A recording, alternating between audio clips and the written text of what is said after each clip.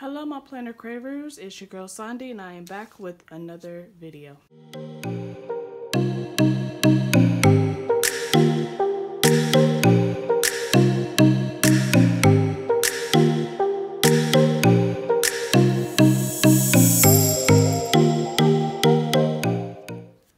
Alright guys, so what we're going to do today is my paycheck number two. I got paid on the 28th, so we're going to go in and see you know, um, what I am going to be needing to pay off of this paycheck. So let's get into the video. So for this video,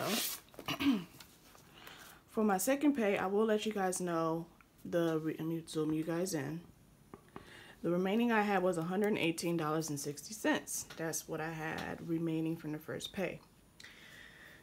Well, um, let's go ahead and start. I don't know why I even said it like that, but um, so what we're going to do is go ahead and calculate what's for the next bills, which is going to be for coming in July, um, because I have most of the, oh, you know what? I forgot about this too.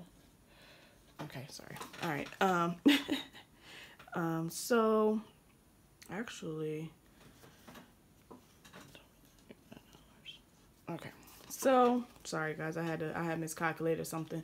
Okay, so for this video, we're doing a second paycheck. So, got paid on the 28th, so we're going into the next month for July. So right now, what I'm going to do is go ahead and calculate, put down all the bills that's due, and then I put the amount and then a total and then whatever I am left off with. So let's go ahead and get into the video. So right now, um, all the bills for June is paid all the bills for June is paid. So I get paid bi-weekly and this is how we're going to do. So right now, going to calculate rent. Okay, so we're going to calculate my rent. Let me see, we got my water.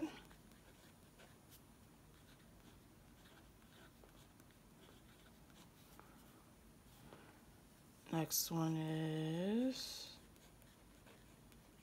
electric. Now, it's funny because somehow, I seriously, I, my electric and my gas bill, it was, it's pretty much the beginning of the month. I always paid at the end of the month just to get them out the way. But I waited till the end, I mean the beginning of the month. So, that's what's a little bit different about this. So, see, we got that. And then I have my credit, credit ones. I put 50 all. Always pay more on my credit one card. Also have a first progress card. And I always pay more on that as well. And then, of course, lovely daycare. So the daycare is closed on July 4th and the 5th, so I only pay for the three days. So right now, I only need to pay $75 as far as daycare goes. So this is all that's on my second pay, which is great because um, usually it's more than that, but sometimes, you know, even if I have something like, like, Right now, I hate when my phone, my car insurance, and my car note is due on the same day. Then I might end up whatever I have remaining may pay on, you know. But right now, I'm just showing you guys what I have left. I haven't made that decision yet. So right now, I am starting at $1,359. So I did carry over 102 of this. Um, and then I also had, you know, money from Babe and then my paycheck. So this is where I'm starting off at. Um, this is not awesome. This has, it's kind of interesting because I haven't talked about much of my Etsy, but this is not my Etsy. This is not included my Etsy or what I've received. So this is just pretty much what my pay is, what I get from Babe, and then whatever I remain from the last check. So this is how much I'm starting off at. And the amount for everything here equals 2. Let's do some calculations. 81, 31, 50 plus 60, 50 plus 50 75. So we're looking at $901.31 the amount for this. So I'm just gonna just, so remaining is Yep, $457.69 is remaining for this pay. And it's really hard to, because I'm like, what? That's not bad, you know? But only thing I had was the rent, water, gas, and then I had credit one. Now, if I went to pay my water, I mean my gas and my electric bills, that's that would free me up another $120. But right now, this is where I am starting off at not a bad start for June. As I said, it's going to get bad before it gets good. So this is what I was talking about. So right now, this is where I'm starting off at.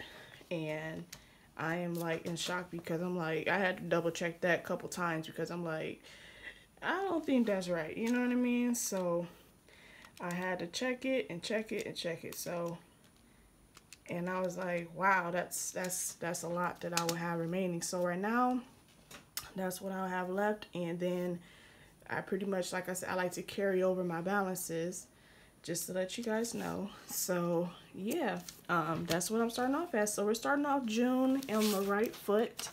Um, I said some things you know maybe you know some days it's harder than others but you got to just stick to it stick you know.